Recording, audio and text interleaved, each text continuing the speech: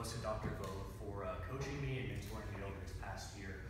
Really, really appreciated his work. Uh, for Chris Medina as well for coaching the Wiley program, allowing us to come compete. Uh, to everyone in the audience for taking time to come participate in this, to assist in fundraising for the Wiley College program.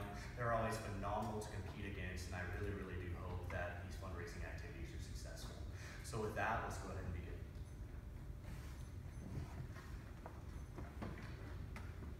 James Farmer Jr., graduate of Wiley College and the creator of affirmative action, describes the purpose of affirmative action as eliminating inequities based on color. Affirmative action was intended to be a counter to racist hiring and admission preferences in the 1960s and was relatively successful in achieving that end. However, in current times, affirmative action has taken on a meaning.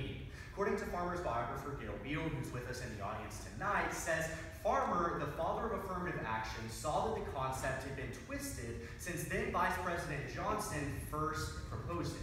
He said they had to be qualified. Affirmative action did not mean hiring unqualified people. Unfortunately, affirmative action has become skewed from its original intent. Farmer intended affirmative action to fight selection discrimination. Yet the policy is no longer a mechanism to fight racism in hiring and firing, but rather a band-aid covering a wound in need of far more serious surgery, which is why my partner and I stand in opposition to the resolution.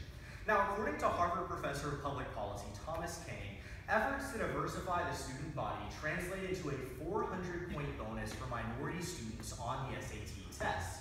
Affirmative action, originally intended to be minority preference between two equally qualified candidates, has the effect now of inflating qualifications for the minority candidate. A Princeton study of college admissions rates finds that a jump of 400 SAT points increases probability of being admitted by 10%. Let's go ahead and examine the implications of this. First, affirmative action is no longer a counter to selective discrimination, but rather values diversity at the expense of achievement. Second, inflating qualifications on paper does not empower the individual. Question. Yes, accept it. Are you implying that the, the score of the, the score of minority SAT scores are not equitable to that of white students? I'm saying because of entrenched economic inequality, statistically and empirically, minorities are going to have lower SAT scores, not because they're less intelligent, but because society has not afforded them the same economic advantages that they have the majority within society. Now that's the second implication, is that an SAT score is not the same as training the student to actually obtain those qualifications. Affirmative action is too little, too late, and fails to address the root causes of systemic inequality. Now, importantly, for a policy to be necessary, it must be required to achieve its goals. If affirmative action fails to increase diversity or individual achievement, then there must be some alternative solution to actually obtain these end goals.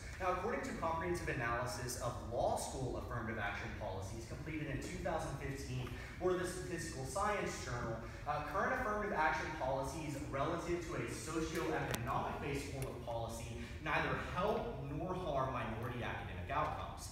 Basically, affirmative action provides no unique advantage to minorities over other forms of admissions policies that aim at helping people who are impoverished. Now, a 2013 paper by Antonovics and Sander in the American Law and Economics Review analyzed California's 1998 ban on affirmative action.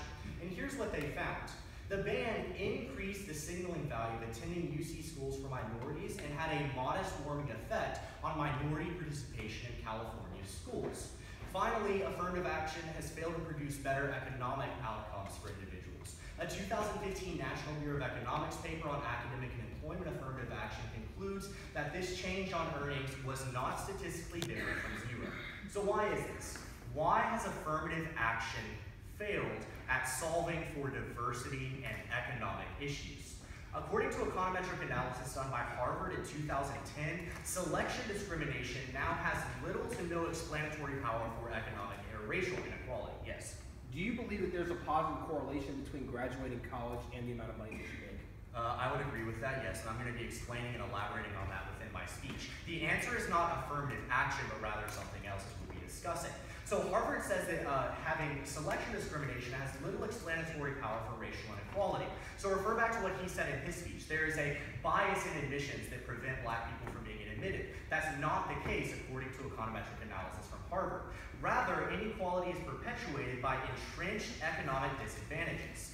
Let's put this in context of Farmer's affirmative action proposal.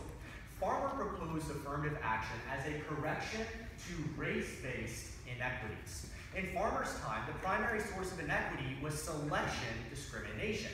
Affirmative action effectively combated this bias. That's what the Harvard econometric analysis says. That selection discrimination has minimal effects now, and economic inequality disproportionately harms minorities. Rather than race-based inequities, we have class-based inequities that drive racial inequality. So let's address those instead. LBJ's original advisors on affirmative action, A. Philip Randolph and Bayard Rustin, also support this principle. Randolph and Rustin supported preferential selection, or affirmative action, as a short-term solution in the 60s, but proposed a freedom budget as a long-term solution. The proposal provided education, employment opportunities, equal access to housing, and clean air and water for the economically disadvantaged. But 50 years later, there's still a 20% gap between the white and black high school graduation rates. Blacks are twice as likely to be unemployed than whites while earning 25% less at work. And redlining maintains economic and housing discrimination, and the water supply is still poisoning marginalized communities like Flint across the United States. Affirmative action does nothing to right these wrongs. Instead of inflating minority qualifications, let's make the inflation unnecessary to begin with. Let's work to destroy the red lines, fight against poverty, and emphasize education so that minorities can attain qualifications from the start. Randolph and Rustin's ideas are still valid in modern society. A 2005 National Bureau of Economic Research paper provides evidence suggesting affirmative action is too late to have a significant effect on minority well-being, assisting them once they reach college or the employment process is too late yet finds that promoting youth education for all races decreases crime and significantly increases minority academic achievement. What we can see is that empirically, when policies target poverty, minorities are better off than when policies target race. Farmer would also agree. In 1998, he argued that this policy can stop when we have effectively eliminated all the gaps in education, housing, and all the other fronts where racism affects the quality of life. Now, the affirmative proposed quotas, but there's a few problems with. The first is that it stigmatizes the minorities. Refer back to the University of California precedent. When they banned this special treatment of minorities, minorities actually went to college more because they were treated as equals. The second problem with this is that it commodifies the minority. The minority merely becomes an asset for a university to meet a quota or legal requirement. Do not turn minorities into commodities. And finally, we see that it skews the intent. Farmer said that affirmative action was supposed to be between two equals, not meeting a number of proposal. We see that affirmative action is a band-aid on a wound in serious need of surgery. So let's do the hard but necessary thing